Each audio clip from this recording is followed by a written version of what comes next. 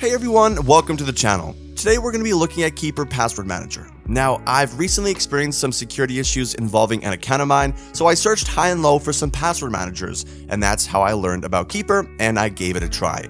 After spending some time using it, I have a lot of thoughts on it, ranging from the features, prices, accessibility, and a few areas that I wasn't too impressed with.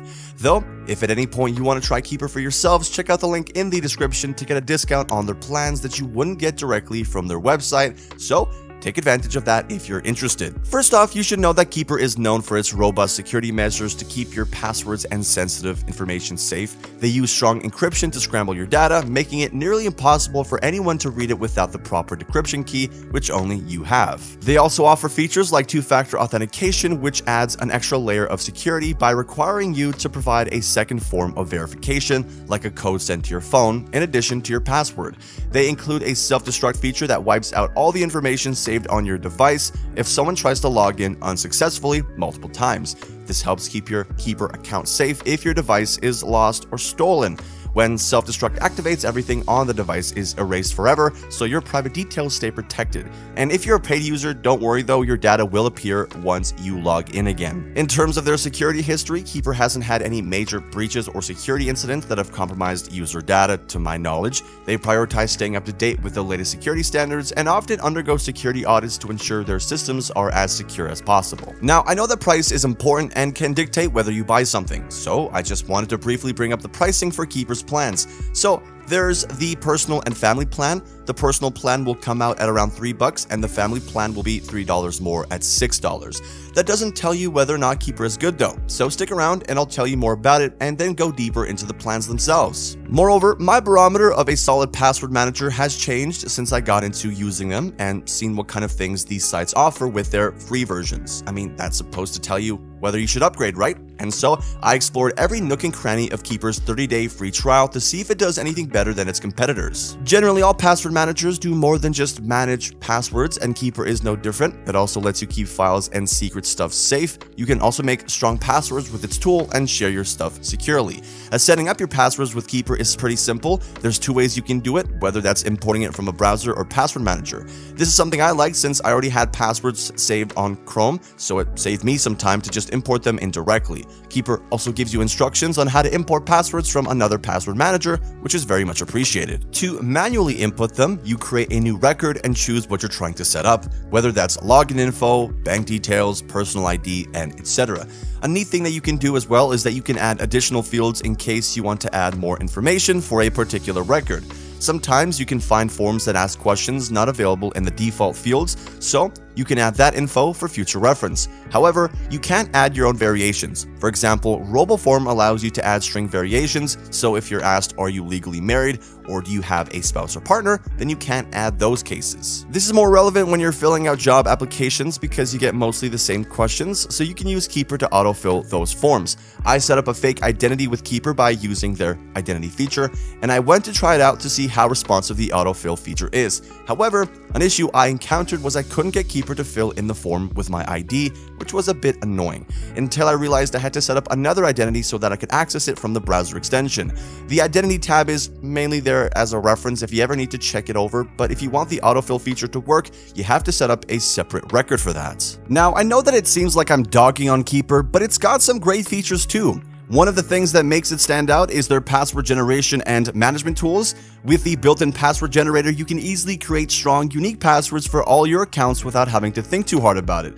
These passwords are kept safe in Keeper's encrypted vault, where you can organize and manage them however you like. Plus, Keeper lets you add notes, categorize your passwords, and update them whenever you need to, giving you a single place to take care of all your password stuff. Keeper also has a secure sharing feature that lets you safely share passwords and other important stuff with people you trust. This is really handy for families, teams, or anyone who needs to work together while keeping things private. You can choose who you want to share things with and control who sees what, so your sensitive info stays safe even when you're sharing it with others. They also go the extra mile to keep your account secure by offering a helpful feature called a security audit. This feature checks all your passwords to see if they're strong enough. It looks for any passwords that might be easy for someone to guess or ones that you've used for multiple accounts. If it finds any issues, it lets you know and gives you tips on how to make your passwords stronger. And in cases of emergency, Keeper has a special feature called Emergency Access. With this feature, you can choose certain people you trust, like family members or close friends, who can ask for access to your account information if there's an emergency and you can't get to it yourself. It's like giving them a spare key to your digital stuff. However, I should mention that this isn't available with the free trial. Something particularly unique about Keeper is Keeper Chat, which is like a texting app that keeps your messages and stuff safe from anyone who shouldn't see them. You can send messages, share files, and talk to your friends or groups knowing that everything is encrypted, which means it's really hard for anyone else to read your messages,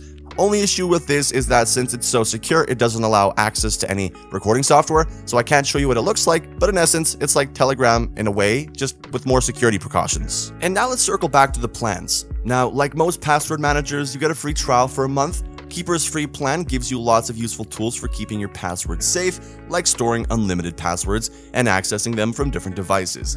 But it doesn't have all the fancy extras you get with the paid plans. With the free version, you might not be able to sync your passwords across as many devices. I know that from personal experience.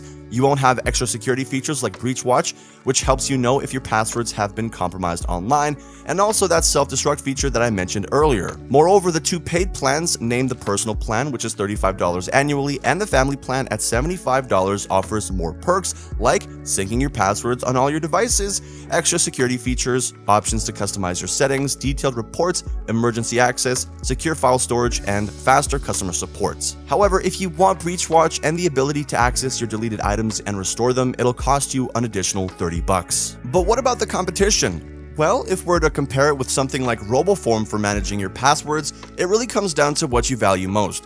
RoboForm is straightforward and easy to use, perfect if you're new to this whole password management thing. It's also cheaper, which is great if you're looking at your wallet. However, it might not offer all the fancy security features you'd like in Keeper. Keeper focuses more on keeping your data super safe with cool features like Keeper Chat. It's pricier, but it gives you more control and protection. So if you just need something basic, RoboForm works fine, but if you want extra security and don't mind paying a bit more, Keeper's the way to go. But considering all that, would I recommend Keeper? For sure, I, I, don't see why not. It does everything you need it to do. Even though Breach Watch and restoring deleted items does cost you, I'd still say it's worth upgrading to the premium version because not a lot of other password managers even provide those features.